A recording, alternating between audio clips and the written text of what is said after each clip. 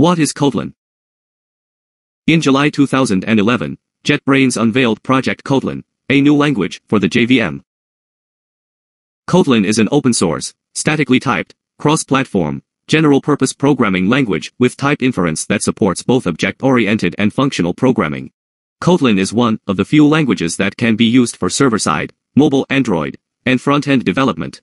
Code, written appropriately, can compile down to Java bytecode or may be transpiled to JavaScript. Kotlin native supports targeting platforms, including iOS, Mac OS, Linux, Windows, and WebAssembly, to compile your source code to native binaries. That makes Kotlin one of the few languages you can use for full-stack development.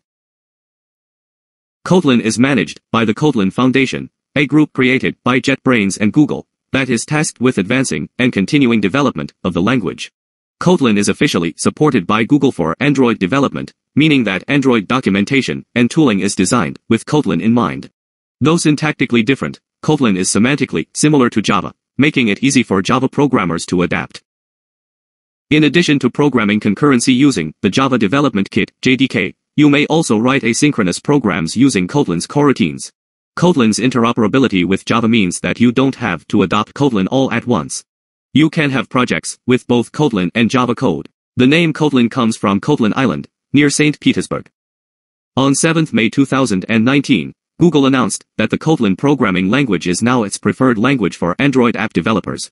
Since the release of Android Studio 3.0 in October 2017, Kotlin has been included as an alternative to the standard Java compiler. The Android Kotlin compiler targets Java 6 by default, but lets the programmer choose between Java 8 to 13 for optimization.